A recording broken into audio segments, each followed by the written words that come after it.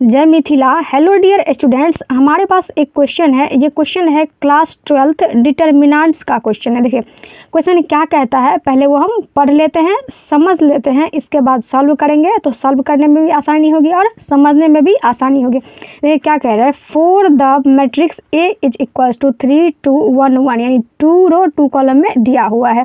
इनकी वैल्यू ए की वैल्यू दी हुई है।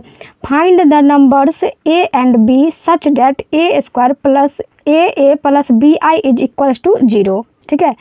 क्या दिया हुआ है? ए स्क्वायर प्लस ए ए यानी कि ये क्या है? स्मॉल ए ये क्या है? Capital A plus B I यहाँ पर क्या आइडेंटिटी मैट्रिक्स है। आई बराबर वही होता है ना? Identity matrix is equals to zero हमको क्या कह रहा है कि ए वी की वैल्यू क्या कर रहा है? फाइंड करने के लिए बोल रहे हैं। ए का मान कितना है और बी का मान कितना है? ये बोल रहा है फाइंड करने के लिए। ठीक है? आई होप आप लोग इस क्वेश्चन को समझ गए होंगे। तो अब हम सॉल्व करते हैं। लिखेंगे सॉल्यूशन देखिए, इसमें एक चीज़ देखिए, जो गिव है ना, पहले वो हम लिख लेते हैं। तो गिव है न A is equals to three two one one इतना है। यहाँ पे तो हम क्या करेंगे, पहले इससे हम क्या करेंगे ए स्क्वायर की वैल्यू हम फाइंड कर लेंगे। इसके बाद आपको ए की वैल्यू दी हुई है। इसके बाद क्या है? B I I identity matrix जो क्या होता है? वन ज़ीरो ज़ीरो वन होती है। देखिए तो यहाँ से हम क्या कर लेते हैं? ए स्क्वायर की वैल्यू को हम फाइंड कर लेते हैं। A square is equals to लिखेंगे। A square is equals to लिखेंगे ए इंटू ए ठीक है? अब देखिए ए की वैल्यू लिख लेंगे इंटू में ए की वैल्यू लिखेंगे। इसके बाद इसको मल्टीप्लाई कर देंगे। देखिए इज़ इक्वल्स टू ए तो ए की वैल्यू कितनी दी हुई है? थ्री टू वन वन फिर इसको ऐसे ही लिखेंगे। ए की वैल्यू को थ्री टू वन वन अब हम इसको क्या करेंगे? मल्टीप्लाई कर लेंगे। रो, पहले वाले का रो और दूसरे वाले के कॉलम से मल्टीप्लाई कर लेंगे, ठीक है? देखिए, ऐसे मल्टीप्लाई करते हैं, इधर से इसको और इसको इस तरह से मल्टीप्लाई करेंगे। इसमें भी ऐसे करेंगे, फिर इसका करेंगे, इसके बाद इसका करेंगे मल्टीप्लाई, ठीक है? देखिए, यहाँ पे थ्री को थ्री से मल्टीप्लाई करते हैं तो क्या जाएगी नाइन हो जाएगी, यहाँ पे प्लस होता है तो प्लस टू को वन से मल्टीप्लाई करेंगे तो टू फिर देखिए थ्री को टू से मल्टीप्लाई करेंगे तो सिक्स प्लस टू को वन से मल्टीप्लाई करेंगे तो टू फिर देखिए वन को थ्री से मल्टीप्लाई करेंगे तो थ्री प्लस वन को वन से करेंगे तो वन वन को टू से मल्टीप्लाई करेंगे तो टू प्लस वन को वन से मल्टीप्लाई करेंगे तो क्या हो जाएगी? वन हो जाएगी, ठीक है?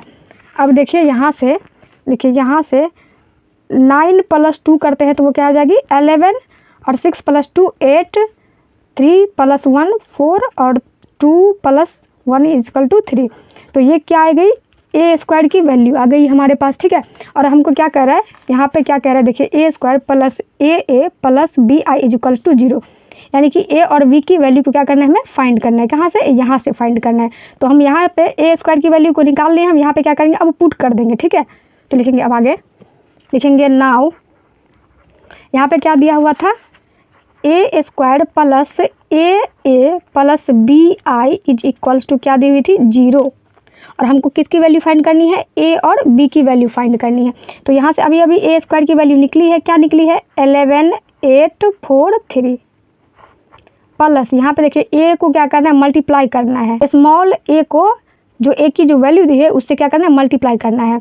तो ए की वैल्यू कितनी दी है? थ्री टू वन वन ये दिया हुआ है ना? प्लस बी बी से हमको क्या करना है? आइडेंटिटी मैट्रिक्स को मल्टीप्लाई करना है। तो identity matrix two row two column में क्या होता है? वन ज़ीरो ज़ीरो वन यही होती है ना इज़ इक्वल्स टू ज़ीरो अब देखिए, लिखेंगे, यहाँ से देखिए, इसको जो है ना ए स्क्वायर की जो वैल्यू है, इसको ऐसे ही रहने देंगे एलेवन एट फोर थ्री और यहाँ पे क्या करेंगे ए से इस सबको क्या करें मल्टीप्लाई कर देंगे।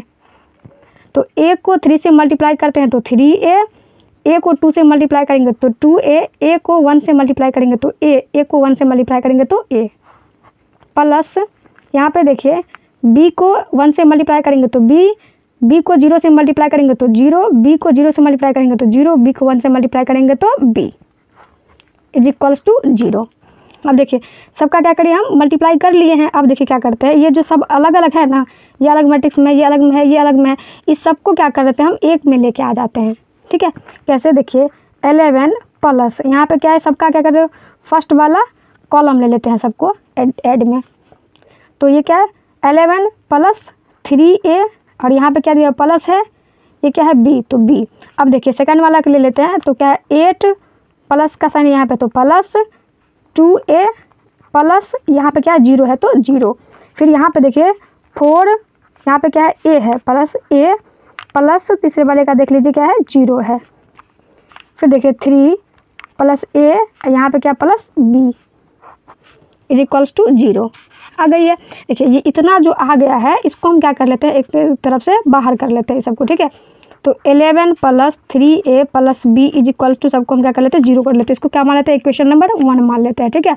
यहाँ पे देख लीजिए एट प्लस टू ए और यहाँ पे plus zero is equals to zero इसको क्या मान लेते हैं? इक्वेशन नंबर टू मान लेते हैं, ठीक है?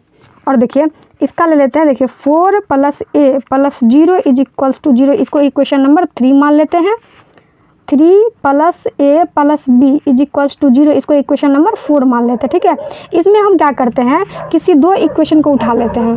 तो हमको ए और बी की वैल्यू फाइंड करनी है। यदि ए और बी की हमको वैल्यू फाइंड करनी है तो हम क्या कर लेते हैं, यहाँ से देखिए, यहाँ से क्या है फोर प्लस ए तो यहाँ से आसानी से जो हमको ए की वैल्यू फाइंड हो जाएगी।